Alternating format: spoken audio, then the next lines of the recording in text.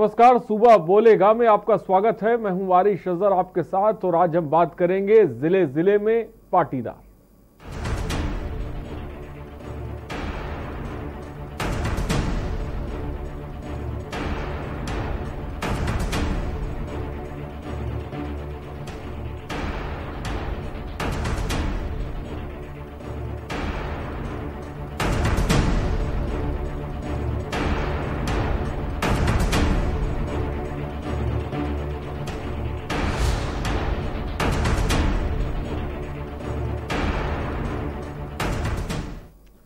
उत्तर प्रदेश के सीएम योगी आदित्यनाथ प्रदेश में भ्रष्टाचार और भ्रष्टाचारी के खिलाफ ज़ीरो टॉलरेंस की नीति पर काम कर रहे हैं। कार्यकाल के करीब साढ़े तीन साल में सीएम योगी आदित्यनाथ ने हर विभाग को देखा और परखा। इसके बाद भ्रष्टाचारी को सख्त से सख्त सजा दी। सीएम योगी आदित्यनाथ ने कबाऊ माने जाने वाले तेरह विभागों को रडार पर रखा। जो भी भ्रष्टाचार या फिर अनुशासनहीनता में लिप्त मिला, उसके खिलाफ सख्त कार्रवाई की गई। इनको या तो वीआरएस दिया गया या फिर निलंबन, बर्खास्तगी झेलनी पड़ी। प्रदेश में बीते साढ़े तीन साल में भ्रष्टाचार में लिप्त मिले 325 अफसर और कर्मचार कर्मियों को जबरन रिटायर किया जा चुका है। इसके अलावा भ्रष्ट लोगों पर निलंबन और डिमोशन की कार्रवाई भी की गई है, लेकिन फिर भी ज़िले ज़िले में पाटीदार सामने आ रहे हैं।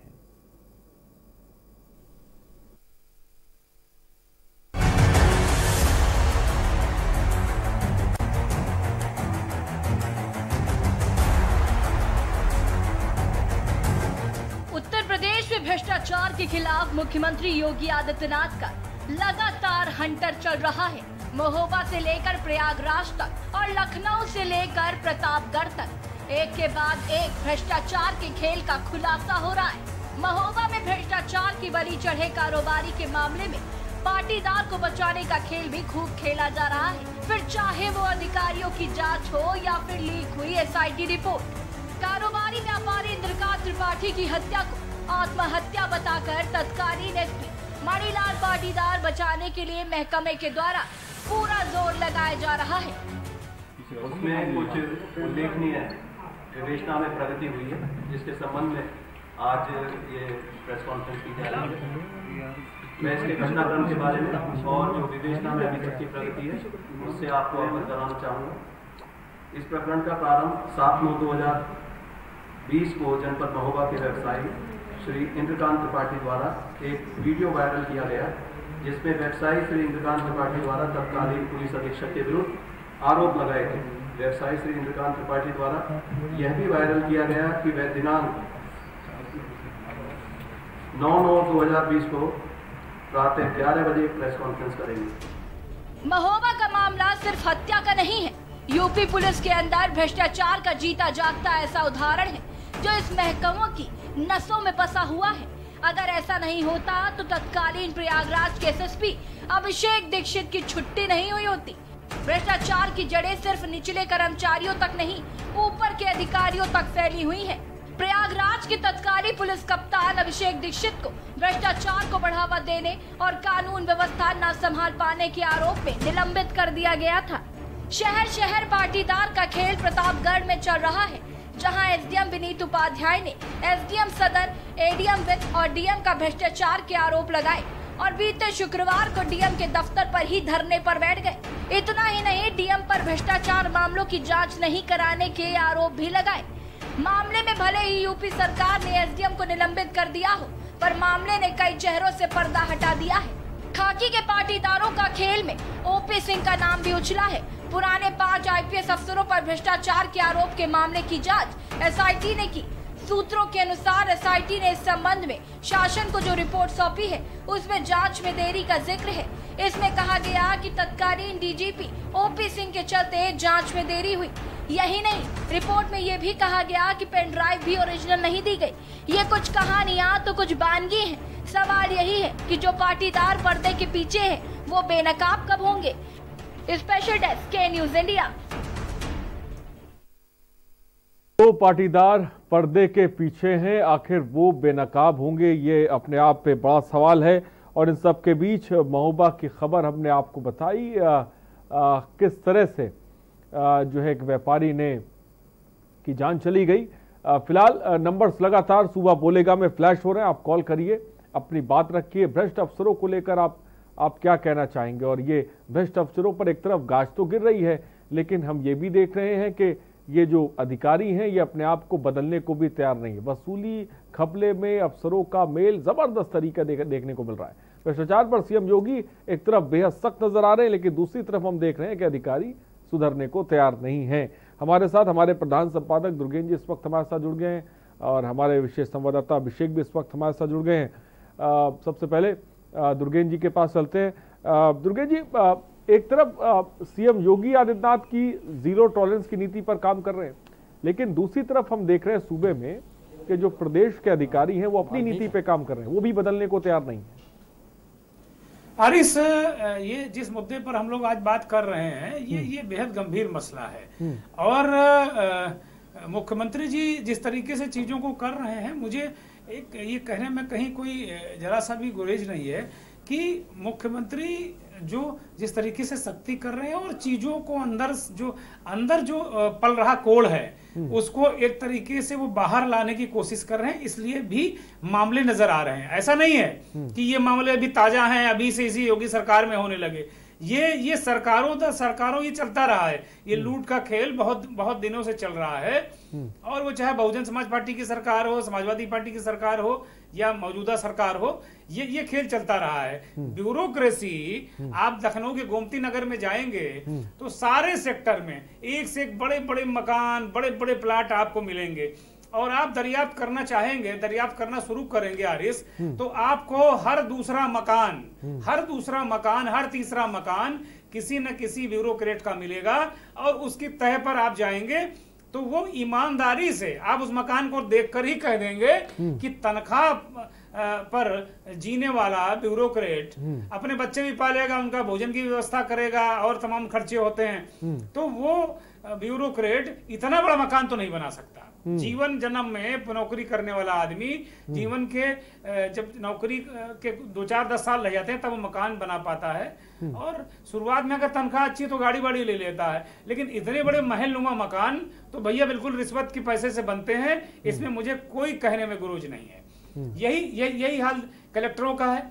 इस समय तमाम इस तरह के मसले आए कि ये महामारी जो आपदा का अवसर आया इसमें महामारी को एक तरीके से कलेक्टरों ने बिल्कुल उगाही का एक आपदा में अवसर के रूप में उन्होंने तलाश लिया अब दर्जनों जिलों से मतलब कई जिलों से उत्तर प्रदेश के कई जिलों से इस तरह की शिकायतें आई हम्म। कि वहाँ जो क्वारंटाइन के लिए पैसा आया जो हम्म। मरीजों को कोविड सेंटरों के लिए जो पैसा आया हम्म। उसमें ऐसी बंदर बाट मची है कि कुछ कहने को नहीं ये ये एक तरफ़ ये तस्वीर है दूसरी तरफ़ तमाम योजनाओं की तह में जब अब जा, जा, जांचें हो रही हैं मुख्यमंत्री सख्त हैं चीज़ों को जब उधेड़ रहे हैं वो तो जो जिस योजना में हाथ रख दे रहे हैं उसी योजना में एक कलेक्टर फंसता नज़र आ रहा है हम्म। महोबा का एसपी पाटीदार ने तो बिल्कुल हद ही कर दी हम्म। अभी भी महोबा में नई पोस्टिंग हो गई नया कप्तान है नया कलेक्टर है लेकिन अभी भी भ्रष्टाचार और जो भ्रष्ट लोग हैं नीचे नीचे हम्म। के जो अफसर हैं वो वही बने हुए हैं हमारे एक साथी से बात हो रही थी तो वो कह रहे थे केवल ऊपर बदल गया है।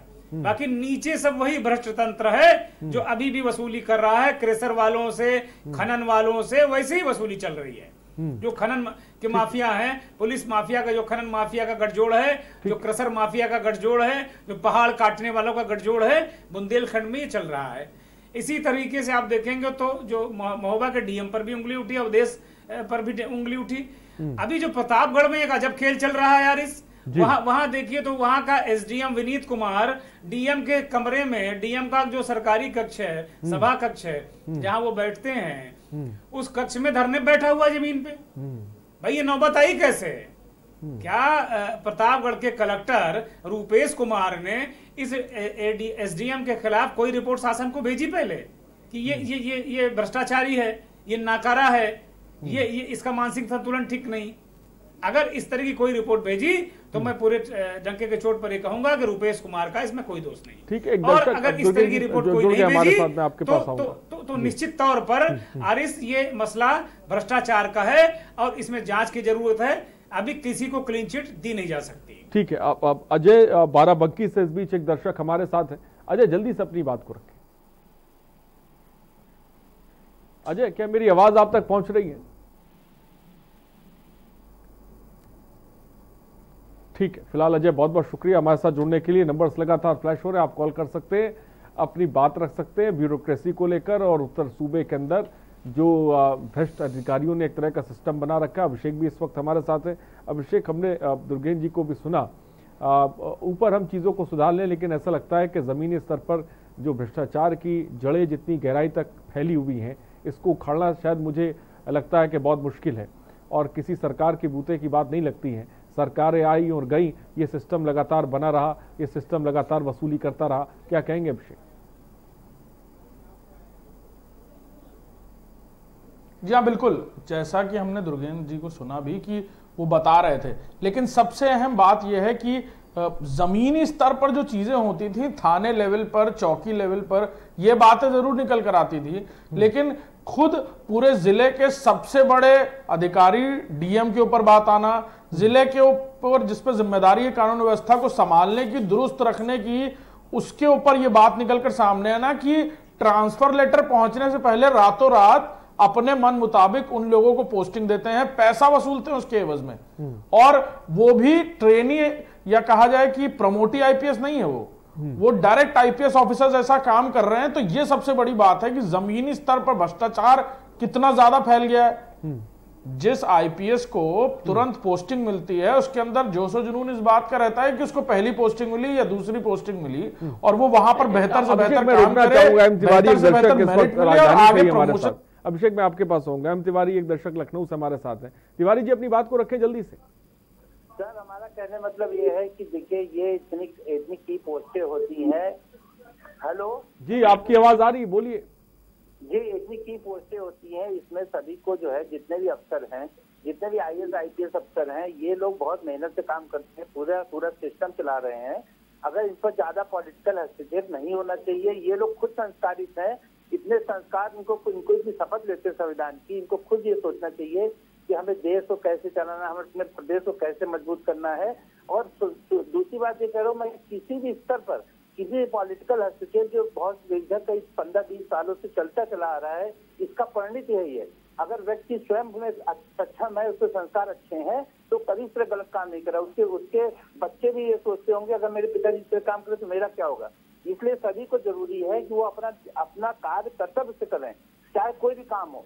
कोई भी अधिकारी, कोई भी मंत्री, कोई भी हमारे हमारे माननीय सीएम साहब क्या कर लेंगे? जब तक तो स्वयं आदमी नहीं सुधरेगा स्वयं अपना काम ईमानदारी से नहीं करेगा। तो कुछ हद तक तो ईमानदारी से काम होना चाहिए। कहने मतलब मेरा ये तात्पर्य है कि ज़्यादा हस्तक्षेप किसी काम में नहीं होना चाहिए। सब अधिकारी अपने में कर्तव्यपूर्ण है और सब इतने पढ़ लिख करके इतने बड़े बड़े की पोस्टों पर पहुँचते हैं। उनको खुद इस चीज़ का भान है। तो सिस्टम में ये ज़रूर होना चाहिए कि कोई भी हस्तक्षेप कहीं से भी बर्दाश्त नहीं होना चाहिए। तो कोई भी पार्टी आती है वो अपना एजेंडा चलाती है। ये नहीं होना चाहिए। उनको बिल्कुल फ्री हैंड काम करना चाहिए। ये सब गवर्नर हमारे माननीय गवर्नर साहब महामहिम को भी देखना चाहिए।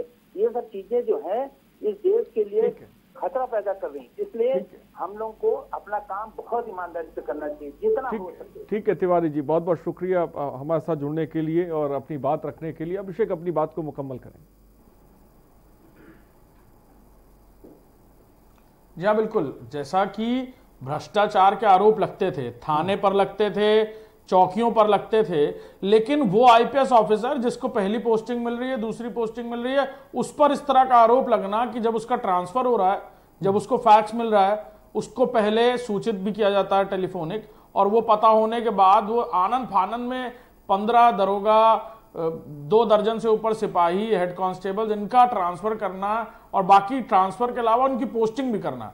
किसी जमाने में एक परिपाटी ये हुआ करती थी कि जब आईपीएस ऑफिसर्स या ज़िले में कप्तान पोस्ट होते थे, अपने कार्यकाल के दौरान जिन लोगों को सस्पेंड या लाइन हाजिर करते थे, जाते वक्त उनका दंडात्मक कार्रवाई को खत्म करने के लिए एक मैसेज देने के लिए उसको खत्म करते हुए जाते थे जिसमें तमाम सिपाही और दरोगाओं के नाम होते थे उस लिस्ट में और वो किया जाता था एक मैसेज देने के लिए कि उनकी दंड की जो अवधि है वो खत्म हो रही है और कोई द्वेषवश ये कार्य नहीं किया गया। जब तक वो पोस्टिंग में थे तब तक उन्होंने ये कार्य किया। लेकिन अब पैसा लेकर थाना पोस्ट किया जाना पैसा लेकर थानेदार को थाना दे देना और वो भी उन आईपीएस ऑफिसर्स पर जिन पर निगाहें टिकी हुई थी। अभिषेक सिंह एसपी एसटीएफ थे। कई सारे काम हुए तो फिर वो भी पूरी तरह सवालों घरे में हैं जो उन्होंने गुडवर्क किए होंगे। अगर उनका कैरेक्टर पर यह सवाल उठता है कि वो पैसे लेकर ट्रांसफ़र करते हैं वैसे ही बात त्रिलोकी सिंह पर भी आती है आजमगढ़ में उन पर भी यही सवाल खड़ा हुआ। और आनंद फानन में सिर्फ़ ये मामला यहाँ तक नहीं रुका कि ये शिकायत की जा रही है या लोगों को बताया जा रहा है। बाकायदा आईजी लेवल के अधिकारी एडीजी लेवल के अधिकारी मौके पर सारे ट्रांसफ़र निरस्त करते हैं, सारी पोस्टिंग निरस्त करते हैं। और कप्तान से कहा जाता है कि आप तत्काल प्रभाव से जिला छोड़कर जाइए। दूसरे कप्तान के आने से पहले, यानी दूसरे एसपी के आने से पहले, खुद एडीजी लेवल और आईजी लेवल के अधिकारी वहाँ पर जाकर के होल्ड अप करते हैं कानून व्यवस्था को।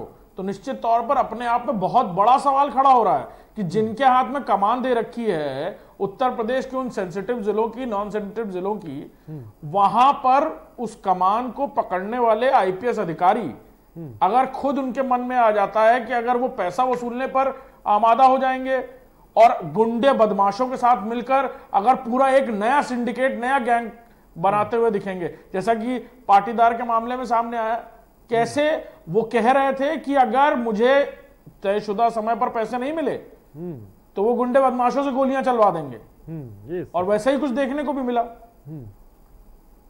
तो साफ़ तौर पर जैसा कि अभिषेक ने बताया दुगे जी एक चीज़ तो समझ में आ रही है कि एक ऐसा नेक्सस ऐसा सिस्टम सूबे के अंदर खड़ा हो गया है जिसको खत्म कर पाना शायद ऐसा लगता है कि बहुत मुश्किल हो गया। एक दर्शक भी हमारे साथ जुड़े हुए थे।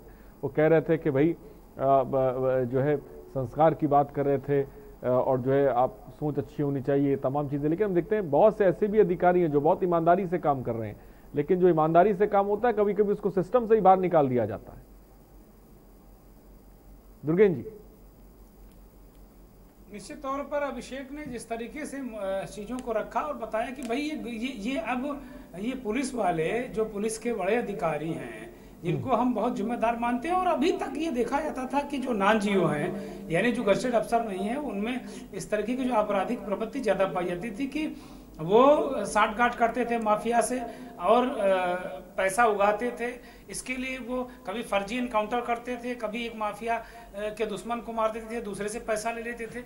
इस तरीके की बातें दरोगा इंस्पेक्टर लेवल पर थी और कहीं हद तक कुछ सीओज भी इस तरीके के मसलों में इन्वॉल्व पाए गए। लेकिन महोबा कांड के बाद तो ये मुझे लगता है कि, मुझे नहीं ध्यान पड़ता है कि इस तरीके का मामला कोई हाल में उत्तर प्रदेश में 10-15 सालों के अंदर आया हो।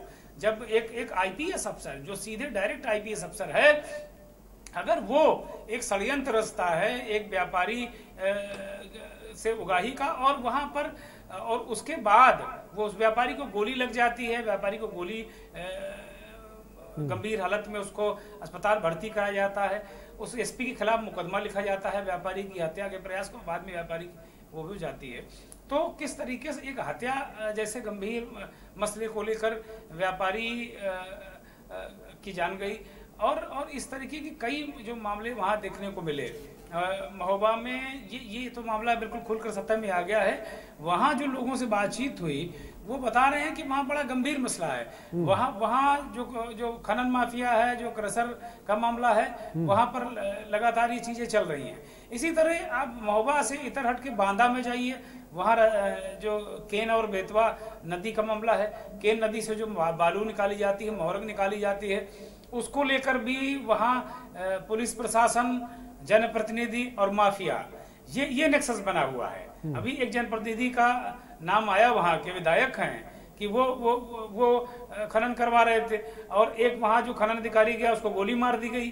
तो ये एक अजीब सा सिस्टम हो गया है कि जो आवाज़ उठाएगा उसको गोली मार दी जाएगी। खनन अधिकारी गोली मार दी जाती है व्यापारी को गोली मार दी जाती है और साठ गांठ कौन कर रहा है? जिस पर ज़िम्मेदारी है रक्षा की। इसी तरीके से जिलों के कलेक्टरों का हाल भी बहुत बुरा है यारिस आप कलेक्टरों को देखिए तो अब वो जनता का फ़ोन नहीं उठाते जनता की तो छोड़िए। वो अब जनप्रतिनिधियों का भी फ़ोन नहीं उठाते हैं। अभी कानपुर और लखनऊ मंडल की समीक्षा बैठक में मुख्यमंत्री जी ने अधिकारियों को लताड़ा। कानपुर के दो विधायकों ने ये, ये कहा मुख्यमंत्री जी से उनकी समीक्षा बैठक में शिकायत की कि अधिकारी फ़ोन नहीं उठाते डीएम फ़ोन नहीं उठाते मंडलायुक्त तो फ़ोन नहीं उठाते सीएमओ फ़ोन नहीं उठाते। तो मुख्यमंत्री ने कहा कि सीएम मंडलायुक्त को ज़िम्मेदारी दी कि भाई ये सुनिश्चित कराएँ कि जनप्रतिनिधियों के फ़ोन उठे। लेकिन जनता का भी फ़ोन उठना चाहिए। जनप्रतिनिधियों का ही नहीं जनता का भी फ़ोन उठना चाहिए। इसी तरीके से लखनऊ की समीक्षा बैठक में आया। वहाँ भी जनप्रतिनिधियों ने एक स्वर में शिकायत की कि ये जो कलेक्टर हैं ये बिल्कुल अपने आप को खुदा समझते हैं और ये फ़ोन नहीं उठाते हैं। वहाँ के जो पुलिस अधिकारी वो फ़ोन नहीं उठाते। ऐसा लगता है ये किसी दूसरे ग्रह से आए हैं और ये जनता दबी कुचली जनता है इस पर राज करने के लिए उनका जन्म हुआ है। जबकि उनको ये नहीं भूलना चाहिए कि जनता जनार्दन है और वो नौकर है। उनको उसी तरीके से लोक सेवक एक शब्द दे दिया गया कि आपको बुरा ना लगे लेकिन शुद्ध भाषा में अगर कहा जाएगा तो वो जनता के नौकर हैं। जनता की दी हुई टैक्स से जनता जो टैक्स देती है उसी से तनख्वाह वो पाते हैं और जनता के रहमो करम पर हैं अफसर। और सरकारें जब एक शुचिता वाली सरकार होती है जब कोई सरकार जनता की सर, चुनी सरकार होती है तो इस बात का वो सरकार एहसास करा देती है कि ये ब्यूरोक्रेट जनता के अफस- अ, के अफसर नहीं है। जनता प्रशासन करने के लिए नहीं है जनता की सेवा करने के लिए है। लोक सेवक हैं जनता की सेवा के लिए हुए हैं। तो ऐसी ऐसी जो चीज़ें नज़र आ रही हैं भ्रष्टाचार की प्रतापगढ़ का मसला अभी हमने बताया आपको इसी तरीके से आप जिस ज़िले में जाएँगे हारिस वहाँ इस तरह की चीज़ें देखने को मिलेंगी आपको। ठीक है अजय बाराबंकी से एक दर्शक इस बीच हमारे साथ हैं। अजय अपनी बात को रखें। हाँ सर ये एक मैटर यहाँ बाराबंकी ज़िले का है।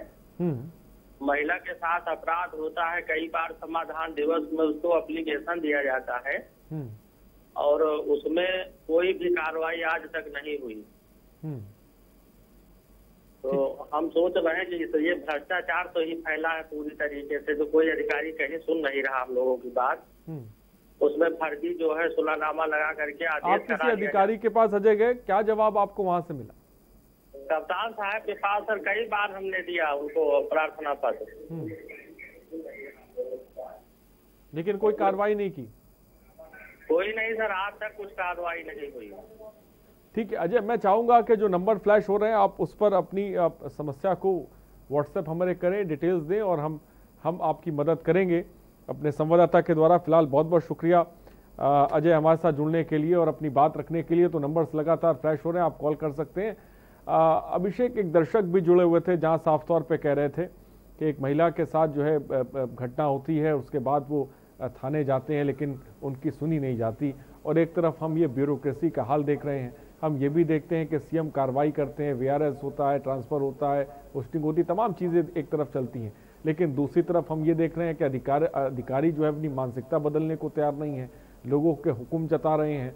और जो है जैसा कि दुर्गेन जी ने साफ़ तौर पे कहा कि ज- है लोक सेवक हैं लेकिन लोगों के फ़ोन तक जो है ये उठाने को तैयार नहीं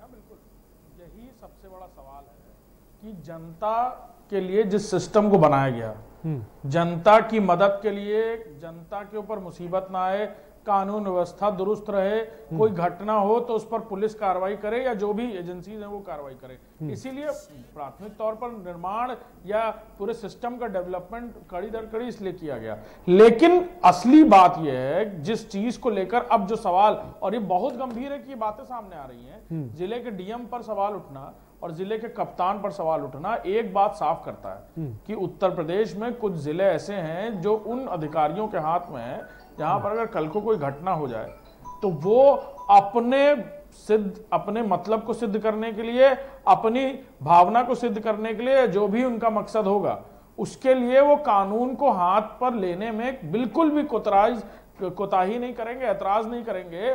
और अपराधी तो छोड़िए। हो सकता है अपराधियों से बड़ी घटना को हम जान दे दें या दिलवा दें। जैसा कि ये बातें सामने निकल कर आ रही हैं। किसी आईपीएस ऑफिसर पर यह आरोप लगना कि उन्होंने अपने कार्यकाल में भ्रष्टाचार किया और पैसे वसूलने के लिए अपराधी तंत्र का इस्तेमाल किया। तो हम किस नेक्सेस को तोड़ने की बात कर रहे हैं? यहाँ पर बड़े बड़े माफिया गांगों के ऊपर छापे पड़ रहे हैं। उनके सिंडिकेट को जेल में तोड़ने की बात होती है।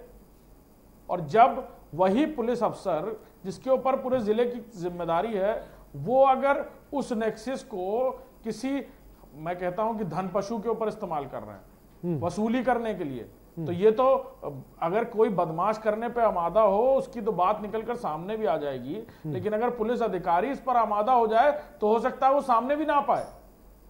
लोग डरकर अपनी जान बचाएँगे किसी तरह। और वैसे ही कुछ देखने को मिला है? एक आईपीएस ऑफिसर ने रिपोर्ट की दूसरे आईपीएस ऑफिसर की। साजिश इतनी बढ़कर सामने आ गई कि दोनों ने एक दूसरे को पेशबंदी में कम तकरीबन दो दर्जन से ज़्यादा लोगों को अरेस्ट किया। और फिर एक के बाद एक खेल खुलता नज़र आया कि कौन किसके कहने पे पोस्टिंग करता था। अब विजिलेंस से जाकर मुकदमा दर्ज किया है।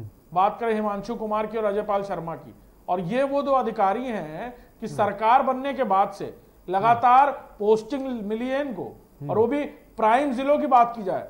गाजिया नोएडाबाद जैसे जिलों में अजय पाल शर्मा थे इनकाउंटर स्पेशलिस्ट के रूप में नाम सामने आ रहा था। और हाल क्या है? आज हम देख रहे हैं कि विजिलेंस ने अपनी रिपोर्ट में उनको प्राइमा फेसी नहीं पूरी रिपोर्ट में कई पन्नों की रिपोर्ट में उनको दोषी दर बताया है और यह भी बताया कि कैसे वो पैसे लेकर ट्रांसफ़र पोस्टिंग करते थे। हम्म। साथ ही चार और लोगों का नाम सामने आया है। हम्म। हिमांशु कुमार की बात करें तो उनके ऊपर भी इसी तरह के गंभीर आरोप लगे हैं। बाकी लोगों की जाँच एसआईटी कर रहा है। चाहे वो अभिषेक सिंह हो त्रिलोकी सिंह हो बाकी लोगों की बात की जाए। लेकिन विजिलेंस की प्राइमरी जाँच में दो आईपीएस अधिकारियों का नाम खुलकर सामने आया है। हम्म, ठीक है अभिषेक कानपुर तो से इस बीच मैं आऊँगा आपके पास। अभिषेक कानपुर से एक दर्शक इस बीच हमारे साथ हैं। अभिषेक अपनी बात को रखें। जी सर मैं ये कहना चाहूँगा कि जैसे कि हमारा कानपुर ये जाजमऊ एरिया पड़ता है। हाँ, हेलो बोलिए बोलिए आपकी आवाज़ आ रही है। सर यहाँ पर इतनी गंदगी और इतने जो है रोड पे गड्ढे और सर की यहाँ की जो पुलिस चौकी है प्रशासन अगर कोई शिकायत करने जाता है तो पता चलता है कि उसे कोई अंदर कर दिया जाता है इतना मोटी रकम लेके हम्म। तो सर यहाँ कोई सुनता नहीं चमड़े के सर गंगा जी के किनारे इतनी गंदगी सर हम लोग ये treatment water treatment plant sir यहाँ पर रहते हैं बहुत ही ज़्यादा गंदगी सर कोई हम्म। सर इसका कोई जो है सुनने वाला नहीं है और कोई अगर शिकायत करने कहीं अगर जाता है क्योंकि जबकि यहाँ पर सर कैबिनेट मंत्री हैं सतीश महाना जी हैं हम्म। और भी कई मंत्री जाजमऊ में लेकिन फिर भी कोई एरिया जाजमऊ को देखने नहीं आता तो इसलिए गंदगी जाता ठीक है अभिषेक बहुत बहुत शुक्रिया हमसे जुड़ने के लिए अपनी बात रखने के लिए। राकेश जालौन से एक दर्शक इस बीच हमारे साथ हैं। राकेश जी अपनी बात को रखें। नमस्कार सर मैं जी न्यूज़ के माध्यम से मैं बात करना राकेश जी बोलिए राकेश जी जल्दी से अपनी बात को रखें वक्त कम मैं, मैं जी न्यूज़ के माध्यम से टीवी की तरफ़ मत मुखातिब होइए जल्दी से बात रखिए। जो जालौन डिस्ट्रिक्ट में जालौन डिस्ट्रिक्ट में बहुत युवा सट्टाबाजी बहुत होती है गरीब लोगों की। ज़मीन ठीक है। ठीक है राकेश बहुत बहुत शुक्रिया हमारे साथ जुड़ने के लिए। और अपनी बात रखने के तो नंबर्स लगातार फ्लैश हो रहे हैं सुबह बोलेगा में आप जुड़ सकते हैं। सिस्टम को लेकर अपनी बात भी रख सकते हैं। रुकते हैं छोटे से ब्रेक के लिए जल्द हाजिर होंगे।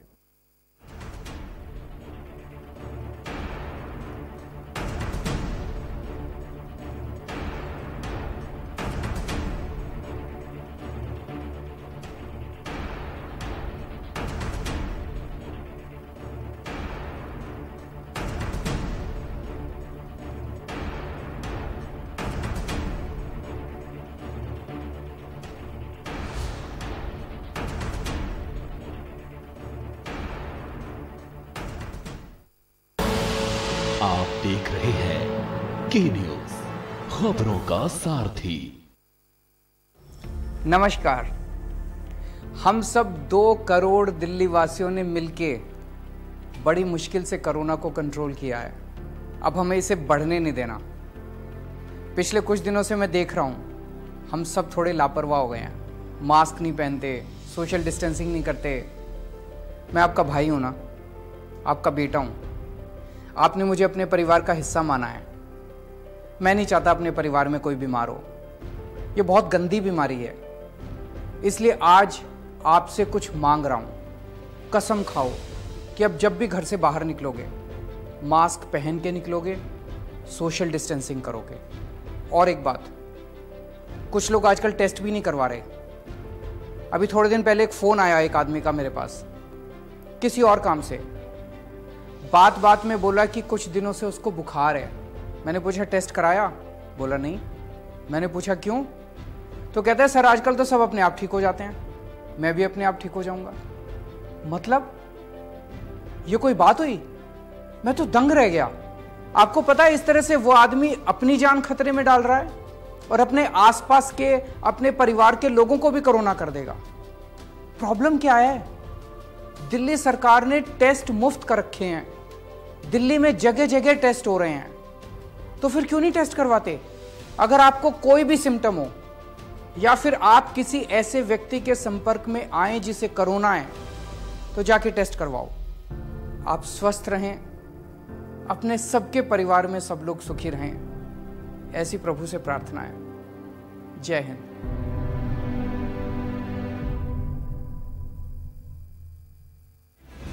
GGS Education Group launches 20% discount on academic fee of courses MBA, BBA, BCA, BFSI and GM, D Pharma, B Pharma. Offers best infrastructure, best transport facility, best academic service and best placement service. Register today to avail 20% discount. Call 9971 496 497 और visit the campus Kanpur Lucknow highway near Unnao G G S education group खुदी को आजमाया।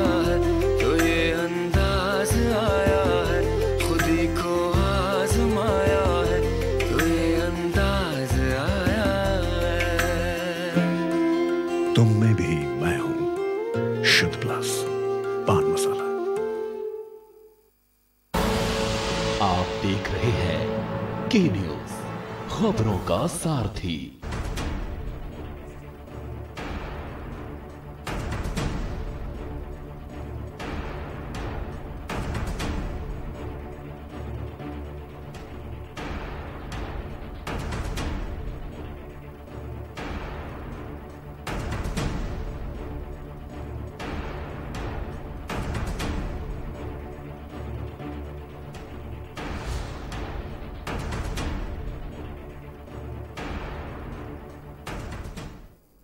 Break के बाद आपका स्वागत है सुबह बोलेगा में और इस बीच विजय बाराबंकी से एक दर्शक हमारे साथ जुड़ गए विजय जी अपनी बात को रखें। सर भ्रष्टाचार इतना बढ़ गया है यहाँ पर। हम्म, सर जी, जी बोलिए। अस्पतालों सरकारी अस्पताल में तुम लेकर जाओ डिलीवरी कराने चाहिए तो, दो चार दिन पहले। हम्म, डिलीवरी करानी चाहिए। हम्म। तो वो सब पेशेंट मतलब हाथ नहीं लगाया मतलब घूस घूस मांग रहे थे सर। कौन घूस मांग रहा था विजय जी? सर वहाँ के जो मतलब डॉक्टर थे सर हाथ पेशेंट को हाथ नहीं लगाया तुरंत मतलब बाराबंकी रेफर कर दिया सर। ठीक है। विजय बहुत बहुत शुक्रिया हमसे जुड़ने के लिए। विजय अस्पताल गए थे और उनसे घूस मांगी जा रही थी। तमाम दर्शक जुड़ रहे हैं और सूबे में हालात क्या हैं चाहे वो स्वास्थ्य सेवाएँ हों या फिर पुलिस महकमा हो हर जगह पर भ्रष्टाचार देखने को मिल रहा है। हम मानते हैं कुछ ईमानदार अधिकारी हैं जो काम करते हैं। लेकिन भ्रष्टाचार ने अपनी ऐसी जड़ें सूबे में फैला रखी हैं, इसको शायद उखाड़ पाना किसी के बस की बात नहीं है। इस तरह की चाहे हम महुबा की खबर को उठा लें, या फिर हम तमाम जगहों की बात कर लें, जैसा कि दर्शक भी हमारे साथ जुड़ रहे हैं। आप दुर्गेन जी, एक दर्शक हमारे साथ कानपुर से जुड़े हुए थे, जो सबसे नीचे की न्याय व्यवस्था होती है थाना चौकी। यहाँ पर भी देखने को मिलता है कि कोई इंसान, जैसा कि दर्शक बता रहे थे मैं हम गए जो है रिपोर्ट करने के लिए, और उन्हीं से उल्टा पैसे ले लिए गए। ये स्थिति बनी हुई है। जो सबसे नीचे की न्याय व्यवस्था है वहाँ तक भी लोगों से जो है पैसे वसूले जाते हैं उगाही उनसे की जाती है। देखिए आरिस अभी अभिषेक ने जो चीज़ें बताई वो बड़ी महत्वपूर्ण चीज़ें हैं। कुल मिलाकर अभिषेक हमारे सहयोगी हैं वो बहुत लंबे समय से जो पुलिस तंत्र है और जो एडमिनिस्ट्रेशन का जो तंत्र है उसको बहुत लंबे समय से देख रहे हैं। और वो एक अच्छा अनुभव रखते हैं इस क्षेत्र में। लेकिन जो चीज़ें बड़ी महत्वपूर्ण बताई हैं कि मेरा जो अपना मानना है और ये शाश्वत सत्य भी है कि पानी और बेईमानी सदा ऊपर से आती है। पानी भी ऊपर से आता है और ढाल की ओर जाता है। उसी तरीके से बेईमानी भी ऊपर से आती है और नीचे तक जाती है। अगर अफसर ज़िले का कप्तान ज़िले का डीएम अगर 100 परसेंट ईमानदार हो जाए अगर वो अपनी तनख्वाह पर जीने वाला हो जाए तो उसके बाद फिर ये तय है कि नीचे थाना चौकियों में किसी की औकात नहीं किसी की हिम्मत नहीं कि वो पैसा ले ले। ये मेरा अपना स्पष्ट मत है और यही शाश्वत सत्य भी है। अभिषेक ने जैसा ये हमारे दर्शक बता रहे थे कि उनसे चौकी में पैसा ले लिया गया। चौकी इंचार्ज को खौफ नहीं है कप्तान का। चौकी इंचार्ज को खौफ नहीं है डीआईजी का। चौकी इंचार्ज को खौफ नहीं है अपने इंस्पेक्टर का, अपने सीईओ का। क्योंकि देखिए, इंस्पेक्टर और चौकी इंचार्ज ये सब मिली मिली भगत है इनकी। सीईओ अपने दफ्तर से हिलता नहीं है। वो एक राजशाही की ज़िंदगी जी रहा है। गाड़ी मिल गई सरकार की, तनख्वाह मोटी मिल रही सरकार की। साग सब्ज़ी का इंतज़ाम जो जो उनके का- कार खास हैं, चले चपाटी हैं, वो कर दे रहे हैं। या जो उनके सर्किल के थानेदार हैं, वो कर दे रहे हैं। ठीक है? तो उनको अब हिलने की ज़रूरत नहीं, उनको जाकर देखने की ज़रूरत नहीं कि किस थाना चौकी में कौन फरियादी आ रहा कितनी एप्लीकेशन है, क्या कहानी है। ठीक? यही स्थिति ऊपर तक बन रही है। यही स्थिति ऊपर तक बन रही जब नीचे का तंत्र गड़बड़ होगा तो उसका ज़िम्मेदारी तो ऊपर वाले की होगी ना। जब ऊपर का व्यक्ति ही भ्रष्टाचार में लिप्त हो जाएगा तो फिर उस ज़िले का उस शहर का भगवान ही मालिक है। अभी अभिषेक ने बताया कि एक करीब साल भर पुराना मसला है। अजय पाल शर्मा हिमांशु कुमार समेत पाँच आईपीएस के खिलाफ एक नोएडा के तत्कालीन एसएसपी वैभव कृष्ण ने एक शिकायत की थी तत्कालीन डीजीपी ओपी सिंह को। ओपी सिंह को शिकायत की थी और उस पर जब कोई कार्रवाई नहीं हुई तो वैभव कृष्ण ने एक प्रेस कॉन्फ्रेंस कर डाली। ये गुनाह कर दिया उन्होंने। पुलिस रे, जो रेगुलेशन था उसका उल्लंघन कर दिया और बाद में इसी में उनको सस्पेंड भी किया गया। लेकिन आज जो जाँच पड़ताल जो तमाम चीज़ें निकल कर आई अब वो सब चीज़ें बाहर आ रही हैं कि ओपी सिंह भी इस मसले में कहीं ना कहीं उलझे हुए थे। अब ओपी सिंह पर भी आरोप लग रहे हैं कि जो तत्कालीन डीजीपी ओपी सिंह थे वो भी पैसा लेकर कप्तानों की पोस्टिंग किया करते थे। ये आरोप भी लग रहे हैं। ओपी सिंह सरकार ने ओपी सिंह को उपकृत कर दिया है। कहीं न कहीं जैसे सुलखान सिंह उपकृत हो गए हैं तमाम जो रिटायर्ड आईपीएस अफसर हो गए हैं जो डीजी रहे हैं डीजीपी रहे हैं वो उपकृत हो गए ना एक, एक उनको कुर्सी दे दी गई एक गाड़ी दे दी गई एक दो गनर मिल गए और सुख सुविधा में अपना भौकाल गांठ कर आगे की ज़िंदगी कटती रहेगी। तो इस तरह जब डीजी से लेकर कप्तान तक, दरोगा तक जब आरोपी ही लग जाएगा, कोई ईमानदारी का कोई पैमाना सेट ही नहीं करेगा तो फिर उस व्यवस्था का भगवान मालिक है। यही हालत वहाँ जिलों की है। इस मसले में जो अभिषेक ने बताया कि विजिलेंस जाँच में अजय पाल शर्मा और हिमांशु कुमार एक तरीके से दोषी पाए गए हैं, उनके खिलाफ एफआईआर हो गई है। इसमें जो दो, एक अतुल शुक्ला नाम का एक दलाल था, खुद को एक मीडिया हाउस का डायरेक्टर बताता था अतुल शुक्ला। एसटीएफ ने उसको हिरासत में लेकर पूछताछ की तमाम कॉल कॉल रिकॉर्ड निकाले। तो अतुल शुक्ला बिचौलिए का काम करता था और इसके साथ में स्वप्निल राय नाम का एक तथा कथित पत्रकार भी था जो खुद को पत्रकार बताता था। इसी इसी तरीके के गाजियाबाद का राय था। वो भी अपने आप को पत्रकार ही बताता था लेकिन पूरा नेक्सेस एक तरीके से ट्रांसफ़र पोस्टिंग दलाली इसी का नेक्सेस था। तो अतुल राय के खिलाफ भी सबूत अतुल शुक्ला के खिलाफ भी सबूत मिले हैं स्वप्निल राय के खिलाफ भी सबूत मिले हैं विजिलेंस जाँच में कि इन लोग किस तरीके से हेरा फेरी करते थे। ये ओपी सिंह के कार्यकाल में हो कैसे गया? सबसे बड़ी बात है, बड़ी मन, बड़ी उम्मीदों के साथ योगी जी ओपी सिंह को लाए थे यहाँ पर। और बहुत अच्छा जो शासन सत्ता प्रशासन चलाने की उनसे उम्मीद थी। इस तरीके जाते जाते इस तरह के मामले कैसे हो गए? क्योंकि कोई भी अफसर हो रिटायरमेंट के पहले या, उसके जो आसपास उसके मन में कहीं ना कहीं इस तरह की चीज़ें आ जाती हैं जो नहीं आनी चाहिए।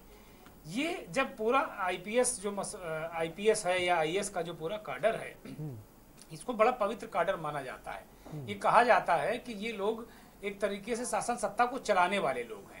और जब यही भ्रष्टाचार में आकंठ तक डूब जाएँगे, जब डीएम ही मोटा कमीशन लेने लगेगा, जब स्कूल चलो अभियान में डीएम ही पैसा खाने लगेगा, जब बच्चों की ड्रेस का पैसा डीएम के पेट में चला जाएगा, ठीक है? जब बच्चों के खाद्यान्न का पैसा डीएम खा जाएगा, एसडीएम खा जाएगा, एडीएम खा जाएगा तो फिर ऐसी व्यवस्था क्या होगा? कैसे होगी व्यवस्था?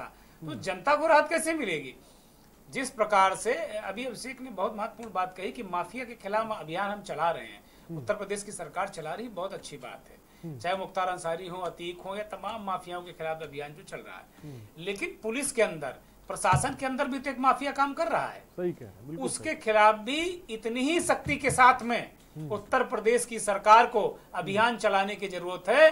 तब एक मानक स्थापित होगा और योगी जी अगर ऐसा कर ले गए तो मुझे लगता है उत्तर प्रदेश के इतिहास में गोविंद बल, पंडित गोविंद बल्लभ पंत से लेकर योगी आदित्यनाथ तक, सिर्फ़ और सिर्फ़ योगी आदित्यनाथ ऐसे मुख्यमंत्री होंगे जो इस सिस्टम को, इस गंदगी को साफ़ करने का सेहरा उनके सिर बंधेगा।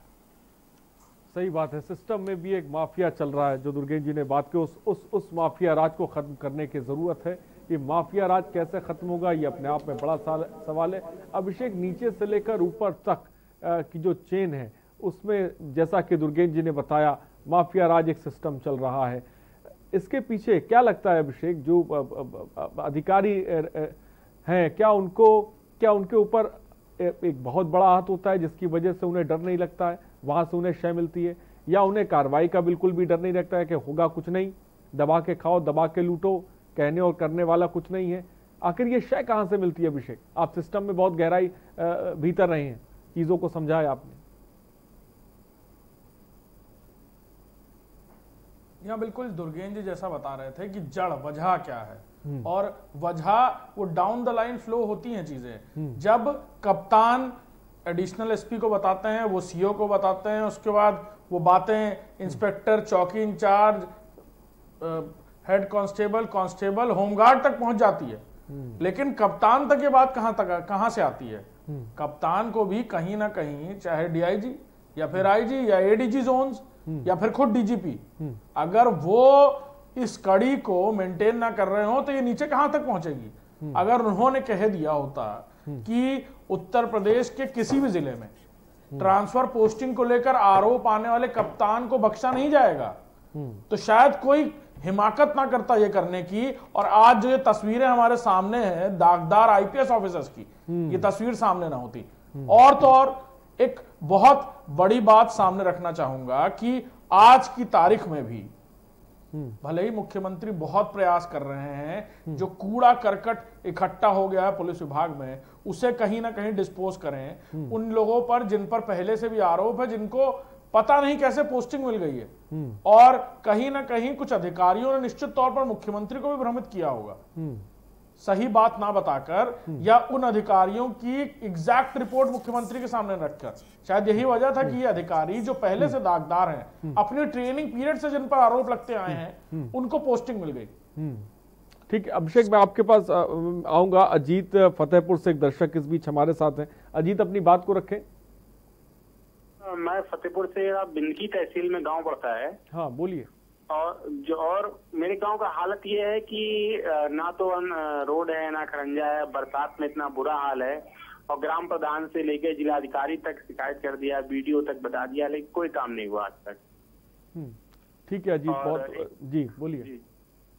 और एक हैंडपंप के लिए मैंने रिबोर्ड के लिए लिखा और जो मुख्यमंत्री जी का जो ऑनलाइन पोर्टल है ना इसमें कुछ कंप्लेन करो तो इसमें फर्जी रिपोर्ट लग जाती है कि ये प्रॉब्लम सॉल्व हो गई। ठीक है ठीक है अजीत बहुत बहुत शुक्रिया हमारे साथ जुड़ने के लिए। अजीत अपनी समस्या बता रहे हैं फतेहपुर से हमारे साथ जुड़े हुए थे। उमेश एक दर्शक इस बीच हमारे साथ हैं। माफ़ कीजिए कैलाश हमारे साथ झांसी से जुड़े हुए हैं। कैलाश जी अपनी बात को रखें।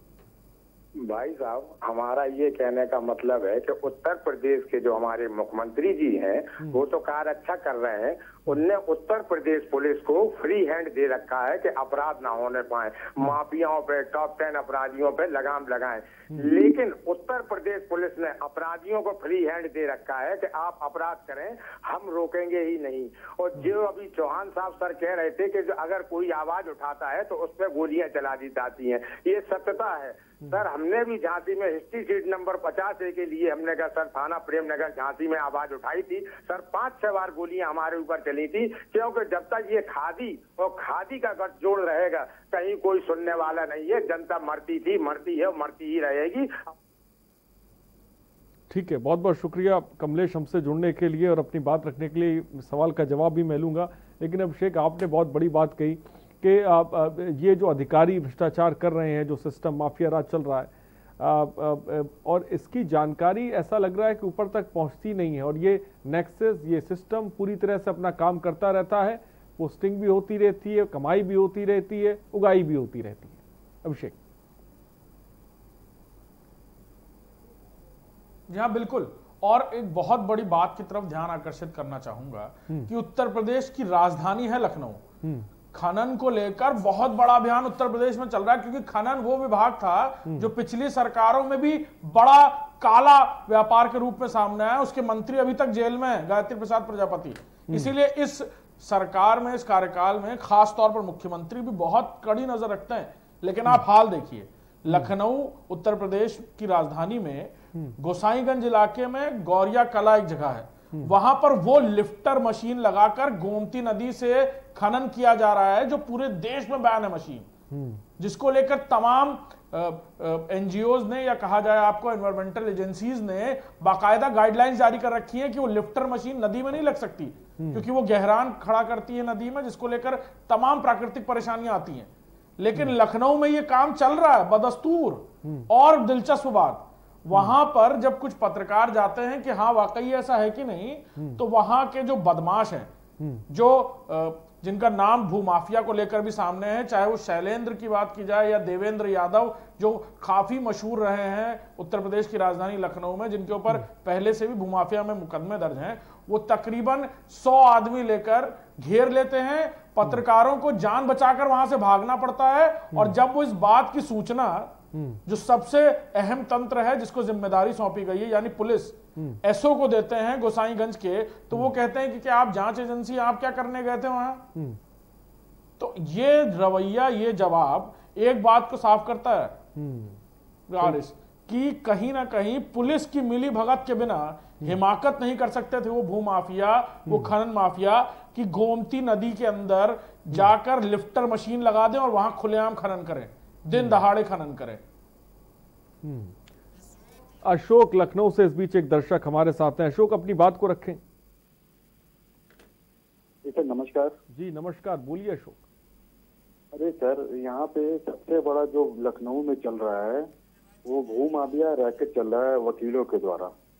एक वकील है जिसके ऊपर छह मुकदमा हुआ है और चार सौ उन्नीस बीस इकहत्तर चार सौ सड़सठ अड़सठ और एक सौ बीस बी इसमें चार महीने से सर मैं फॉलोअप कर रहा हूँ तो उसकी गिरफ्तारी करके जेल भेजा जाए। तीन चार बार पुलिस कमिश्नर महोदय से भी मुलाकात हुई लेकिन कोई एक्शन नहीं लिया जा रहा है। और पूरा का पूरा संरक्षण प्राप्त है इन माफियाओं को। और ये सिर्फ़ वकील के बेस में ये भू माफिया है। इनका काम पेशा वकालत करना नहीं है। लोगों की ज़मीन पे ये अपना बोर्ड गाड़ देते हैं और फिर वो कहते हैं कि आके हमसे निगोशिएट करो। और अब पैसा दोगे तो ठीक है नहीं तो तुमको जान से मार दिया जाएगा। ये सारी लिखित शिकायत कमिश्नर महोदय को देने के बाद भी इवन मैं तो sir DG line and order और डीजीपी तक गया हूँ कोई सुनवाई नहीं हो रही है सर कुछ समझ में नहीं आ रहा है क्या है और आए दिन धमकी मिल रहा है। इसमें हम क्या करें? कोई मदद करने को तैयार नहीं है। मैंने सारा एफ़ आपके आपके जो नंबर दिया हुआ मैंने भेज दिया है। ठीक है अभिषेक बहुत बहुत शुक्रिया हमसे जुड़ने के लिए। जितेंद्र एक और दर्शक इस बीच हमारे साथ हैं। जितेंद्र अपनी बात को रखें। जी मैं कानपुर नगर थाना ग्वाल टोली से बोल रहा हूँ। हम्म। एक हमारे मोहल्ले में है उसने मसाला चक्की लगा रखी है। मैंने उसका थोड़ा सा विरोध किया एप्लीकेशन लगाया। हम्म। तो वो हमको रोज रात में मार देने की धमकी देता है और घर बेच बिकवा देंगे बर्बाद कर देंगे। ग्वाल टोली थाना पुलिस कई बार गया मैं उन्होंने कोई कार्रवाई नहीं करी डर के मारे हम जी रहे हैं भैया। और बड़ी मुश्किल में है क्या बताएँ। ठीक है, जितेंद्र बहुत बहुत शुक्रिया। जितेंद्र ग्वालटोली से दर्शक जुड़े हुए थे। मैं चाहूँगा जितेंद्र अपनी समस्या को आप नीचे नंबर पर व्हाट्सएप करें। फ़िलहाल बहुत बहुत शुक्रिया हमारे साथ जुड़ने के लिए। नंबर्स लगातार फ्लैश हो रहे हैं, आप कॉल कर सकते हैं, अपनी बात रख सकते होंगे जी, आपने सुना दर्शक लखनऊ से जुड़े हुए थे, जहाँ पर एक वकील के मामले का ज़िक्र कर रहे थे। कितने मुकदमे दर्ज हैं, उसके बाद वो नीचे से लेकर ऊपर तक गुहार लगा चुके हैं, लेकिन उनकी सुनने वाला अ, कोई नहीं। और आपने अभियान का ज़िक्र किया था क्योंकि बार बार जब हम लोग भ्रष्टाचार की बात करते हैं माफिया राज की बात करते हैं तो तस्वीर बदलने की भी बात होती है कि आखिर ये सिस्टम की तस्वीर बदलेगी कैसे? क्या एक अभियान चला के इस तस्वीर को बदला जा सकता है? क्योंकि हमने तमाम एसआईटी की जांचें देखी जो जांचें होती रहीं उसके बाद क्लीन चिट दे दी गई कुछ ऐसा निकला नहीं। तो क्या इस अभियान चला के ये ये सिस्टम साफ़ हो सकता है? ये ये माफिया राज खत्म हो जाएगा? या कुछ और करना पड़ेगा इसके लिए? दुर्गेन जी। नहीं निश्चित तौर पे निश्चित तौर पे देखिए अब अब इसमें इसमें एक एक चीज़ ये देखनी होगी कि दर्शक जिस तरीके से चीज़ों को बता रहे हैं एक एक मैकेनिज्म अभियान तो चलते रहेंगे अभियान चलते रहेंगे। अब मैकेनिज्म तैयार करना होगा ऐसा नहीं है कि पुलिस और प्रशासन में या जो आईएएस कैडर है आईपीएस का कैडर है जो प्रशासनिक सेवा के लोग हैं ऐसा नहीं कि उनमें ईमानदार अफसरों की कमी है। है ईमानदार अफसर हैं लेकिन वो ईमानदार अफसर उनकी आवाज़ बिल्कुल दबी रहती है। वो अपनी पोस्टिंग के लिए प्रयास नहीं करते। अगर उनको किसी ज़िले में आप पोस्ट कर दीजिए पूरी ताकत के साथ में पोस्ट कर दीजिए वो ईमानदारी से काम करते हैं। ऐसा भी नहीं है कि ईमानदार अफसर है नहीं और अभी दो चार जिलों में अगर देखें तो है भी पोस्ट भी है इसमें कहीं कोई संदेह नहीं। अब क्या करना चाहिए? अभियान तो एक अपनी जगह है कार्रवाई की जानी चाहिए। जो आईपीएस अफसर या आईएएस अफसर डीएम कलेक्टर जब तक इनके खिलाफ उसी तरीके से कार्रवाई होनी चाहिए इनको एक आम अपराधी मानकर एक आम अपराधी मानकर इनको वैसा ही सुलूक किया जाना चाहिए।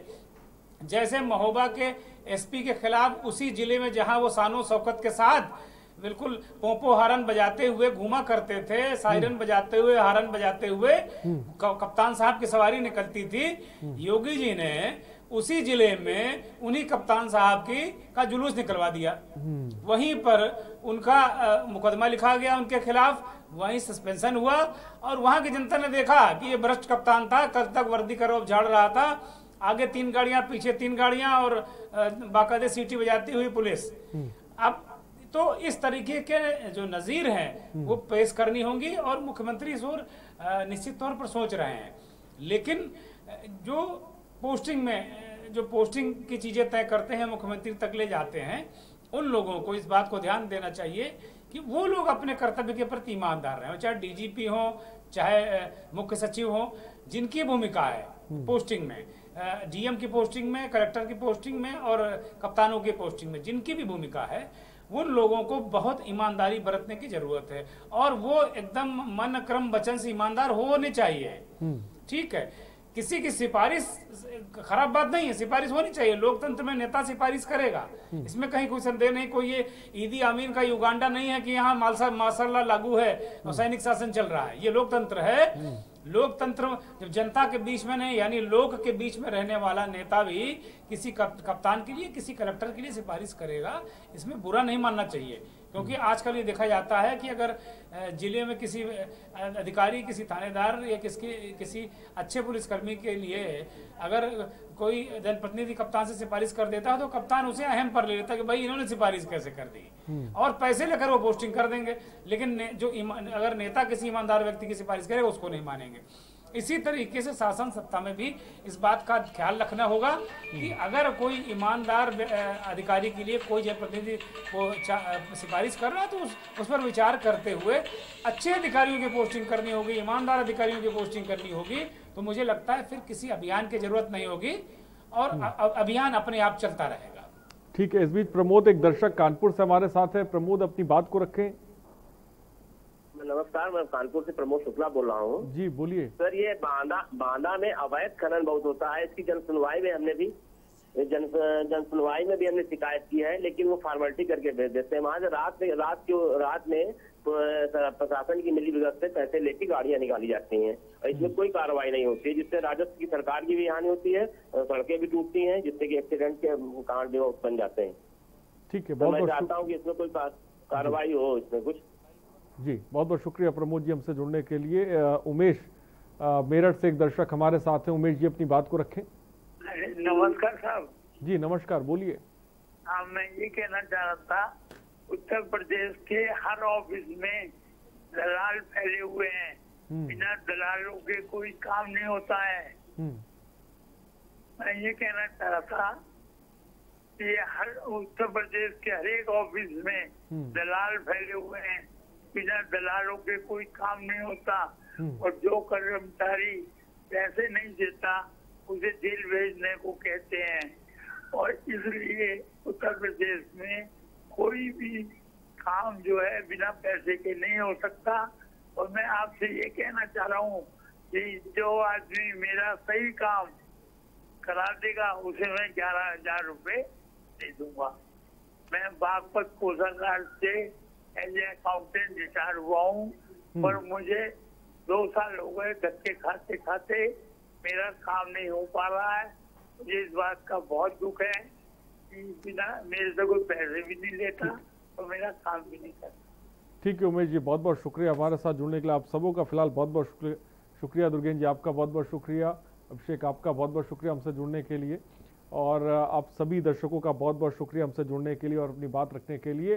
तो खाकी के से लेकर ब्यूटी केस तक हर जगह भ्रष्टाचार फैला हुआ है। सिस्टम में एक ऐसा माफिया राज पैदा हो चुका है जिसे खत्म करने की ज़रूरत है। सीएम योगी आदित्यनाथ एक तरफ़ ज़ीरो टॉलरेंस की नीति पर काम कर रहे हैं, भ्रष्ट अधिकारियों पर कार्रवाई कर रहे हैं, लेकिन दूसरी तरफ़ ये भी देखने को मिल रहा है कि अधिकारी भी अपनी नीति पर काम कर रहे हैं। वो भी ज़बरदस्त तरीके से भ्रष्टाचार कर रहे हैं।